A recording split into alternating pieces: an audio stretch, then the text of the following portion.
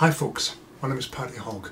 I'm a counsellor in North Lanarkshire and I'm doing a short video just now to emphasise the adverse health effects from mobile phones, from Wi-Fi routers in the home, from Wi-Fi used in the workplace, Wi-Fi used in cafes, in buses and to emphasise that there are adverse health effects from all of these devices including the large mast antenna, often situated near people's homes. Quite often you'll see them on top of blocks of flats and what I would like to say is something that most people don't want to hear. These tech devices emit radiation, microwave radiation, that is causing a host of illnesses and diseases, including cancer. The recent science tells us that the radiation coming from all of these devices is a class 1 carcinogen, but there are hosts of other illnesses from oxidative stress, um, various things such as hormonal disruption. We use such devices like laptops on our knees, which irradiate parts of our body, our pancreas, our liver, into our legs and affects our fertility through irradiating our private parts. There are many illnesses that are going not so much undetected, they will be seen by doctors, consultants, etc., but no one's looking at the underlying cause. And the underlying cause, according to the modern scientists, is the most ubiquitous toxin in the modern environment, and that is electromagnetic radiation from the technological devices we have become addicted to using. And the really bad news is that the telecoms industry and Westminster have colluded for what is one of the biggest cons of the 21st century, if not the biggest one, that there is no harm coming from these wonderful devices that we all love. I use them and I have learned from studying the science not to put a Wi-Fi based laptop on my thigh cause any more damage to my health. Not to use my phone while it's on, put it on and leave it in my pocket so that someone can call me. What we need to do is to learn behaviour where we lower the emissions of radiation, lower our exposure to microwave radiation from these devices. And basically what I'm trying to do here is say phones should be used, put them on speakerphone. If we're speaking to someone, do not put them close to your ear. Putting them close to your ear and using a mobile phone for many years, for half an hour or so per day, or possibly a lot longer, we hugely increase the risk of a glioma brain tumour a glioma blastoma brain tumour. Most people do not survive from that. We risk, run the risk of various other illnesses and diseases. Wi-Fi should be taken out of the home and taken out of schools. The remedy is simple. Use Ethernet cabling or in schools you can use Ethernet cabling or optical fibre. So there are various things that we can do. Flight mode for your phone.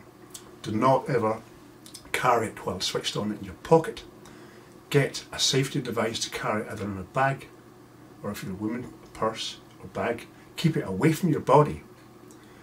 That is the instruction from the makers of the phones. Do not put it within one inch of your body.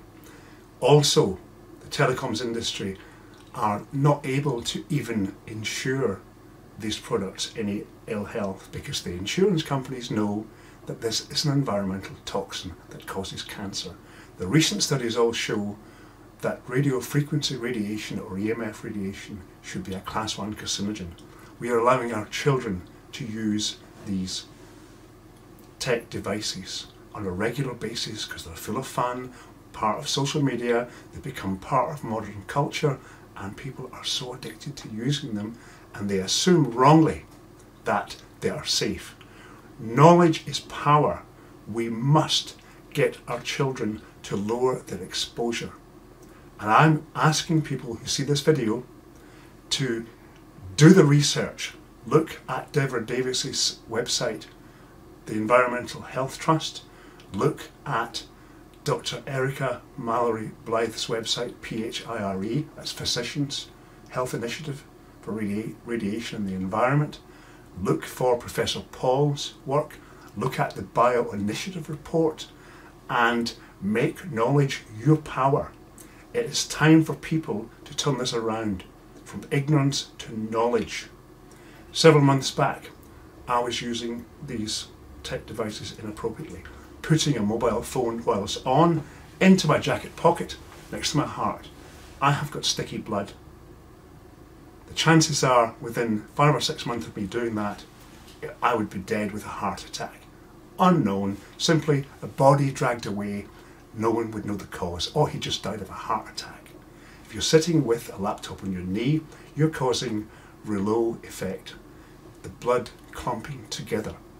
The science is showing this. I have been in touch with some of the most eminent scientists in the world, and they condemn IRCNIP, the regulator, the International Commission for Non-Ionizing Radiation Protection. They are a joke.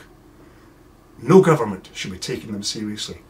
The scientists made an EMF call to the United Nations demanding lower regulation because there are no proper health and safety standards for these devices.